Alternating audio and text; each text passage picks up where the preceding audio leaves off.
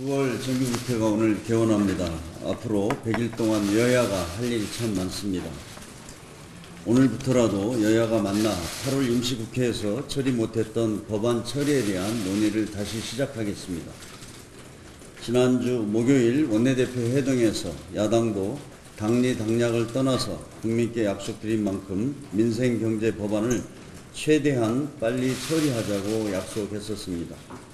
이번 주라도 그 약속이 지켜질 수 있도록 여야가 뜻을 모으는 데 최선을 다하겠습니다. 어, 이번 정기국회는 소모적인 정쟁 국회가 아닌 생산적인 민생 국회가 되도록 하겠습니다. 경제와 국민을 위한 일에는 여야가 초당적으로 협력할 것을 기대합니다. 우리 당은 의원 워크숍을 통해 정기국회에서 국민이 체감할 수 있는 입법과 예산의 성과를 만들기 위해 최선을 다하기로 의견을 모았습니다. 당정청 상임위를 어, 상임위 논의를 활성화시켜서 당에서도 정기국회 차질 없이 대비하겠습니다. 야당도 민생 우선 국회를 만들겠다는 한 약속을 지켜주실 것을 기대합니다. 이번 정기국회가 100일의 협치 국회가 되기를 진심으로 기대합니다. 양승태 사법부의 사법농단과 관련해 검찰이 지난달 30일 신청한 압수수색 영장이 법원에서 또다시 무더기로 기각되었습니다.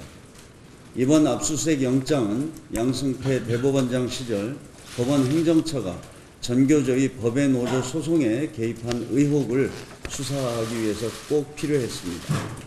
그런데도 법원은 납득하지 못할 이유로 고용한 전 법원 행정처장과 대법원 재판연구관실 등에 대한 압수수색 영장을 기각했습니다. 사법농단 사건과 관련한 법원의 영장 기각은 한두 번이 아닙니다.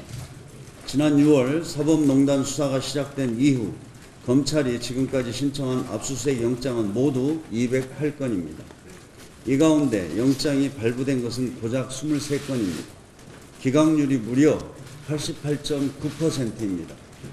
특히 양승태 전 대법원장과 박병대 전 법원 행정처장과 같은 핵심 관련자들에 대한 압수수색 영장은 모두 기각되었습니다.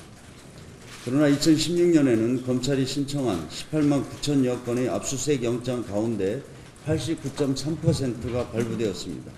기각률이 10.7%에 불과했습니다.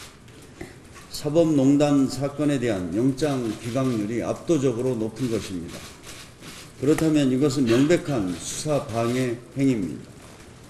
법원이 사법농단의 진실을 밝히고 국민의 신뢰를 되찾으려는 의지가 있기는 한지 매우 의심스럽습니다. 더 이상 법원이 제 식구를 감싸거나 양승태 사법부 시절의 범죄 행위를 비호하려 해서는 안 된다는 것을 엄중히 경고합니다. 법원의 수사 방해 행위가 계속된다면 특단의 대책을 강구하겠습니다. 필요하다면 국회 차원의 국정조사를 통해 양승태 사법부의 사법농단과 법원의 수사 방해 행위를 철저하게 파헤치겠습니다. 이상입니다.